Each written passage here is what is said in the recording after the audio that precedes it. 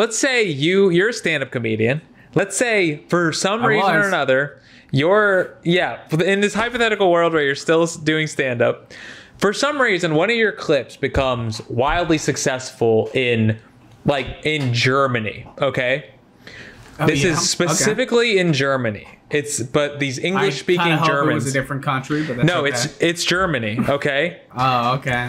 So it's like a, it's got a pretty strong economy. Like people will come out to see you, but would you would you move to Germany? Would you become like German Germany's favorite comic? Because you're for basically you're foregoing any sort of success you would have outside of Yeah. Germany. Yeah, yeah, And yeah. you're saying I am the German comic. Like I am the funny jerk. Like for some reason, German people fuck with me, like David Hasselhoff type shit. So you're saying Yeah. like, you know what? I'm willing to cap. I'm willing to cap any success I've had in my home country or any other country to really just like be a late night host in Germany. Would you? Would you do it? Um, no. Yeah. I. No. That would be so weird. No, because like no, it, you're saying specifically Germany too. I don't. I spent time in Germany. I didn't like it was fun. But I would live in Germany. Okay. I don't want to live in Germany. All right. Like it's the uh, illusions of grandeur. I don't want to be that. Because then also like that, you know. I would. I, this is. I'm just trying to imagine a scenario where, because it's it's a two way street, right? Like they love me, but then when you go there to be like Germany's Adam Yeah. Sandler or whatever, like you have to know a shit ton about Germany. yeah, but you would figure it out.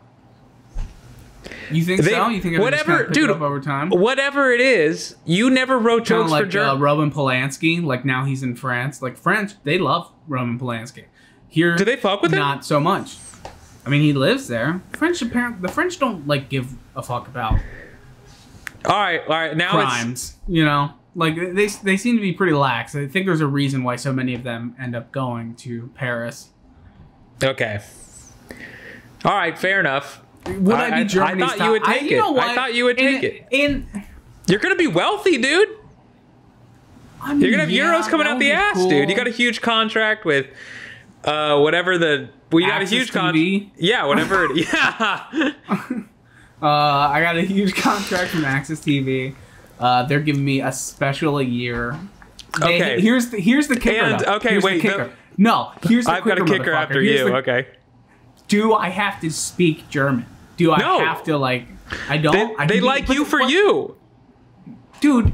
I wouldn't be. They wouldn't put me up. They don't speak English. Or they they speak English, but the Germany's very like America. They're very like Germany first in the sense that like they don't. If you go there, like they're not going to speak English to you unless you like ask for it or like ma- basically be like, hey, I need help. Can you help me? They love you so Like- much that they're like, just speak English to us. barrier. It's part of your charm. Yeah, it's part of your charm is that you don't speak German, but you're beloved. Yeah, Here's the other. Here's the other kicker. The uh. Hmm. I guess I'll do it. Yeah. so you're on. not? You have a know, special I'll year live on. I go live in Cologne or Yeah, the you you Berlin. okay. You know? You have a you have a contract for a stand-up special a year for Access TV, and then and then Yeah. but but I'm like well, a host on their version of like The Voice. Like I'm, Yeah, one the, uh, exactly. you're uh you're the uh yeah exactly you're the Adam Levine uh chair Oh, on the well, voice. dude, they, that, no further info needed. Okay, yeah, all right. dude, that's what. okay, Okay, but I have another clinker let me though. flip this though. All right, go okay, ahead. no, what's your kicker? And then I'll flip. it. My, no, actually, we passed it. Go ahead.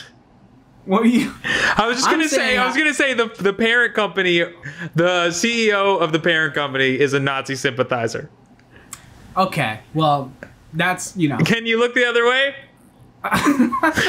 Listen, no, Good. I could never. I could never look the other way. I'm not gonna work for it. Like if it was like Fox, you're saying if I had to go work for like the Fox News of Germany, if like they were the ones giving me the contract.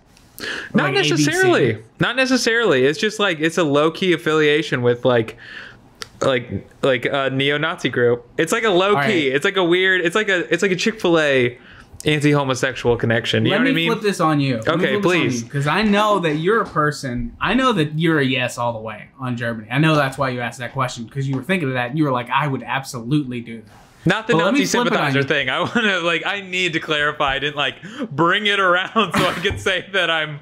Yeah, I think it's pretty clear that we, neither of us would do that. Yeah. Okay. You know, good. Good. Good. Good. Good. We would, then that's you know Yeah. that's funny, I guess. But no, you would say yes. You would do it. You would be Germany's top comic. Mike. Yeah, So I let me would. I raise the stakes great. for you. Let me raise the stakes for you. Mhm. You go, and that. So same scenario, but it's in Syria. You're Syria's, top comic. Get the fuck like- out, like- dude. what does that even mean, no, hear me out. No, listen, hear me out. Hear me out. Hear me out. You become Syria's top comic. They've allowed they've allowed one entertainer to come into the country and be This- the entertainment, No. and they picked you. And here's the thing: you're like literally living like a king. Like you're the only one. You're the only entertainer in Syria. You can do whatever you want. You can't talk shit about the Syrian government. They're not going to allow that. But do whatever you want. That's the No, only. I feel- that's the only rule. No, you can't talk dude, I- the government. I already I already feel guilty enough not living in a war torn country, but if I have to uh, I already feel guilty enough knowing that there are war torn countries. Imagine Yeah. imagine living like a king in a country where IEDs are exploding in the streets and people are just trying to milk their fucked up, goats, dude. dude. Uh, It'd so no. No, so like I think the more I feel like if you were to say, "Hey, you can be here. Here's how you would What, sell what if me. it's like 10 years? They'll be like, hey, you can do this for 10 years, then you can do, go on and do whatever. no You get a 10 year con. Syria gives you a 10 year contract. No, dude, and here's uh you know what? Here's how you would sell it to me that. better. Because I would feel like such a You're a good piece guy. of shit. I'd feel like a piece of shit. You know what I mean? I'm living in a palace you while should. there's just mutiny all over the place. And Yeah. you could you could sell it to me if you were gonna be like, okay, you're gonna be what are those guys the white helmets in Syria? The guys that are like vigilante peacekeepers?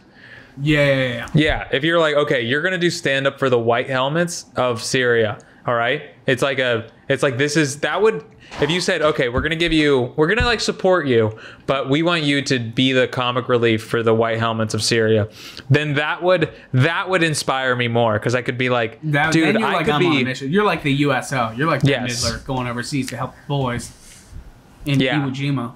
You know? and you know they're gonna do the next like White Helmets two documentary. They're gonna like, I'm gonna be in there, dude. oh, for sure. I and then I'm gonna leverage that success to my uh to the nobody's listening. That's fine. Okay, so let me so let me dial this back then. So you're not going to Syria. You refuse to be Syria's top comic. No. I get that. So let me let me take it down a notch. The Ukraine. You're you, in Oh. the Ukraine. Still not great. Not war torn. The little part of it is being bombed by Russia. Just a little part of it. Over in the corner, no one gives a fuck. You're in like the Ukraine. You get to be Ukraine's top comic. Same deal. Super.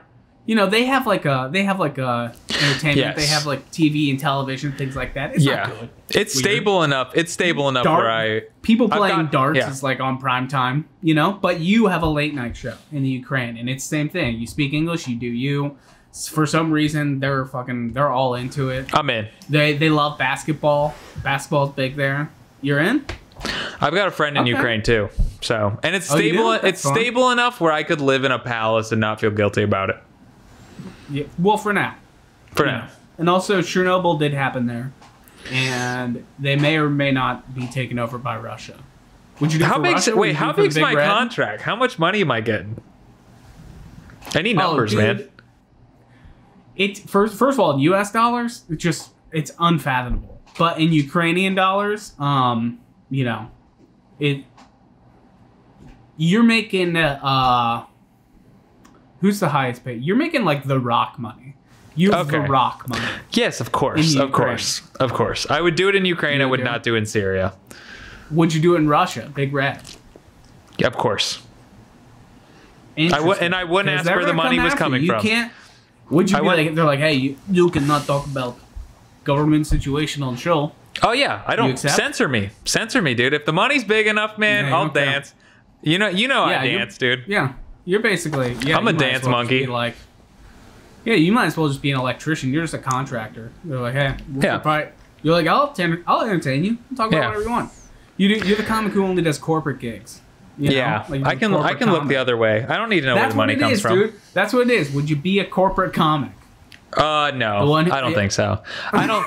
No, I don't know. I would do it. I would do it in Russia, but I would not be a corporate comic for like Kaiser Permanente. You know, Would you be I am- the small town corporate comic who only does, you know, like benefits and galas and like dinners for like high school like reunions and they need like an entertainer and they're like, hey, you're like the one, you're like, hey, can you host? And you're like, oh boy, now listen, I wasn't with you guys, but this guy looks like a drinker, and everyone's like, fucking he's great, you know. Can I? Well, can I like? Can I make fun of his? Can I like call this the drinker's wife a slut? How deep can I go?